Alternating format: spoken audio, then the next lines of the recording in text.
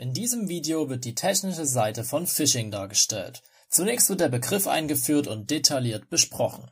Anschließend wird Phishing exemplarisch demonstriert. Zum Ende des Videos wird aufgezeigt, wie Phishing verhindert werden kann. Was ist Phishing?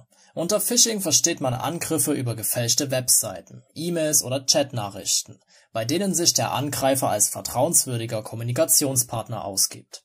Ziel des Angriffs ist es meist an persönliche Daten zu gelangen oder das Opfer zur Ausführung einer für sie nachteiligen Aktion zu bewegen, wie beispielsweise eine Überweisung von Geldern zum Täter und seinen Gehilfen.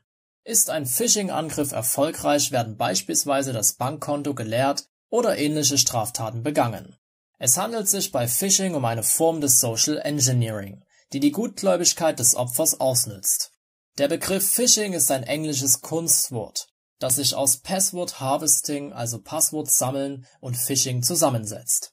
Erste Phishing-Angriffe wurden bereits Mitte der 1990er beobachtet.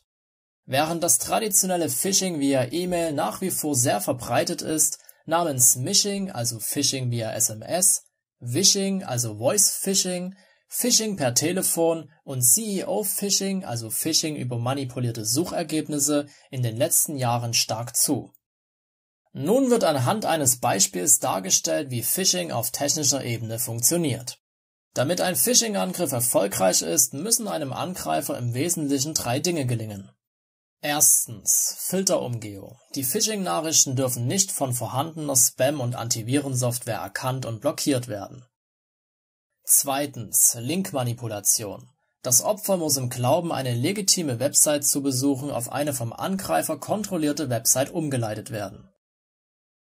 Und drittens Social Engineering. Das Opfer muss im Glauben an die Legitimität der Website dazu gebracht werden, beispielsweise wie von Angreifer erwünscht Benutzername und Passwort einzugeben und darf auch nicht nach Eingabe von Benutzername und Passwort den Fehler erkennen und in weiterer Folge das Passwort ändern. Idealerweise erkennt das Opfer den Angriff nicht und rechnet Fehler oder Inkonsistenzen eigenem Fehlverhalten oder Unwissen zu. Das sogenannte Social Engineering Toolkit ist ein etabliertes Werkzeug, um Phishing-Angriffe zu demonstrieren.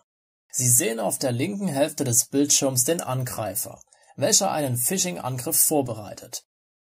Im ersten Schritt wird die Zielwebsite geklont und so manipuliert, dass eingegebene Benutzernamen und Passwörter zum Angreifer geschickt werden.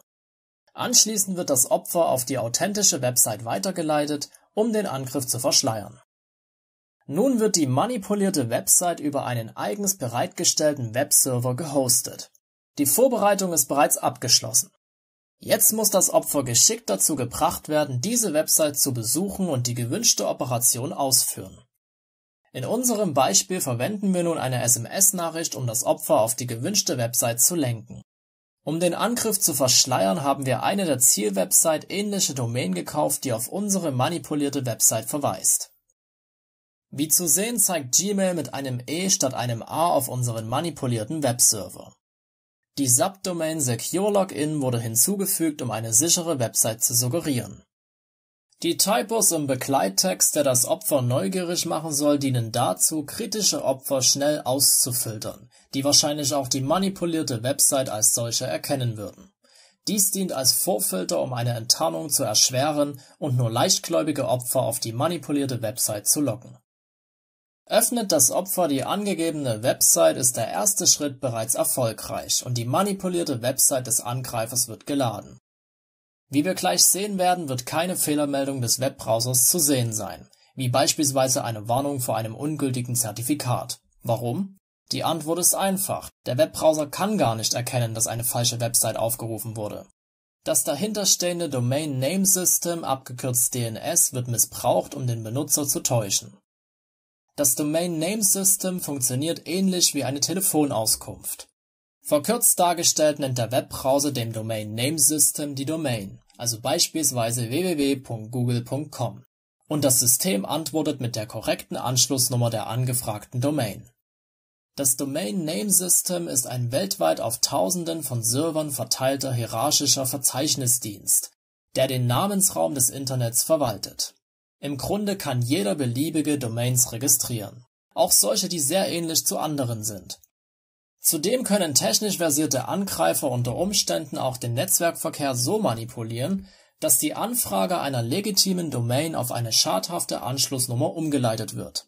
Man spricht hier vom sogenannten DNS-Spoofing.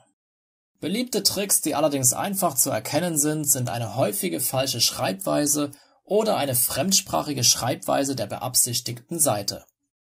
Eine falsche Schreibweise, die auf einem typografischen Fehler beruht. Ein Plural eines singulären Domainnamens. Eine andere Top-Level-Domain .com statt .org. Ein Missbrauch der Country Code Top-Level-Domain, wie beispielsweise .cm statt .co oder .om statt .com. Wird das Opfer nun über die Website getäuscht und gibt Benutzernamen und Passwort ein, so bekommt der Angreifer nahezu instantan dieses übermittelt. Um den Angriff zu verschleiern, wird das Opfer meist auf die eigentliche legitime Webseite weitergeleitet. Dort sieht es häufig eine Fehlermeldung glaubt einen Fehler bei der Passworteingabe und nimmt den Passwortdiebstahl unter Umständen gar nicht wahr. Wenn wir einen Schritt zurückgehen, ist die Manipulation nur bei einer fehlerhaften Domain offensichtlich. Erst ein Blick in den Source Code der HTML-Seite würde die weitere Manipulation offenbaren. In unserem Beispiel kann der Angreifer nun über Benutzernamen und Passwort frei verfügen, sofern ihn nicht andere Maßnahmen wie beispielsweise eine Zwei-Faktor-Authentifizierung daran hindern. Auf technischer Ebene ist es nahezu unmöglich, gut vorbereitete und gezielte Phishing-Angriffe zu unterbinden. Dennoch haben sich einige Methoden entwickelt, um dem Problem zumindest teilweise entgegenzutreten.